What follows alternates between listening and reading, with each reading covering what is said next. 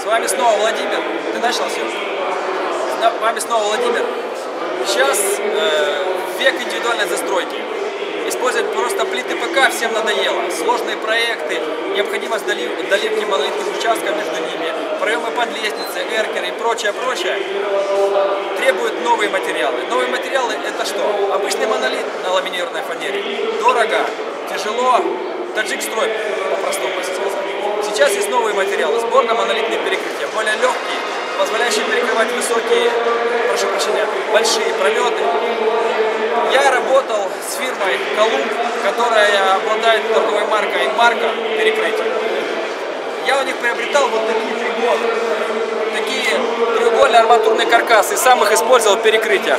Так как работаю, сами знаете, в маленьком городе Таганрог, где люди не тянут, просто не тянут по деньгам, сборно-монолитные перекрытия.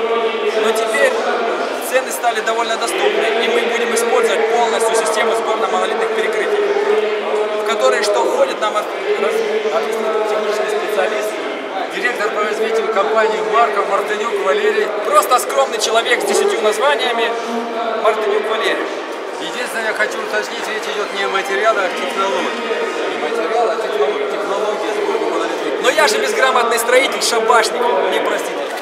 В данном случае мы говорим о э, комплектации балками, блоками, сеткой, бетоном. В результате получается примерно 2000 рублей. Вот все, что я назвал, балки, блоки, сетка, бетон, 2000 рублей квадратный метр. Как, как правило, начинают сравнивать перекрытие наши с плитами перекрытия. Говорят мне, вот наша сейчас плита перекрытия стоит примерно полторы тысячи рублей квадратный метр. А у нас, а у нас вроде как э, дороже получается. Но, когда сравнивают с плитами, забывают о нескольких моментах. Стяжка. Стяжка раз. Монолитный участок. Хотите монолит... лишить меня работы, да? Ну, отчасти. Монолитный, монолитный пояс обязательно под плиту Который не нужен под монолит. В данном случае он интегрирован будет по краю. Внутри, он будет внутри перекрытия. У плит перекрытия, как правило, встречаются монолитные участки. Причем, чем более индивидуальный дом, тем этих монолитных участков получается больше. Давайте избавим человека от рекламной кампании, просто скажем, какой конструктив этих уникальных перекрытий. А я скажу от себя. Вот, э, будучи честным человеком, Валерий Владимирович сказал, что 2000. Это никому не интересно. Я вам по-другому скажу. 1300 рублей примерно до полутора тысяч. То подсистема, которая необходима для монтажа уже бетона самого. Вот это нам интересно. Вот это мы у него за деньги покупаем. А бетон мы там украдем цемент туда-сюда, нам будет дешевле. Я о чем говорю? Вот как выглядит вот эта новая балка. Раньше балки имели вот здесь бетонный сердечник. Бетонное основание. Ну, мы говорим сердечник. Теперь же избавились от этого ненужного атовизма, и теперь как бы несъемная палубка балки позволяет формировать ядро балки построечных условиях, бетонное ядро балки построечных условиях. Плюс, я так понимаю, не нужны вот эти вот преснопамятные блоки, которые тоже мне приходилось выписывать с Москвы и других там городов. Теперь мы можем использовать просто любой рядовой блок от керамзита-бетона до газобетона, теплой керамики, газобетона. По большому счету можно хоть опалку. Хоть ящики деревянные. Хоть ящики деревянные, лишь бы э, создать технологический размер раз и технологическую высоту. Абсолютно верно.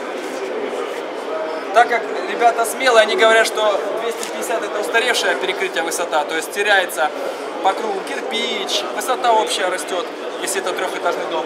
Теперь они советуют, как бы пугает меня, что не рассчитают перекрытие, грубо говоря, обычная сетка 6 метров, высотой 150. 150 миллиметров. 150, сразу Можно... скажу. Вот это здесь просто так. Это не значит, что они работают на пластмассовой арматуре. В данном случае, да, я должен согласиться с этим. Пластиковая арматура здесь как демонстрация того, что в некоторых случаях при пролетах, например, больше 6 метров и толщине перекрытия 150 мм, как правило, появляется дополнительная арматура. Как правило, появляется. Она может быть разная, все зависит от нагрузки, но если говорить о плитах, я продолжу эту мысль, э, поскольку вы, я так понимаю, говорите в основном для частных лиц, они должны Маленькие домики. Да, маленькие домики.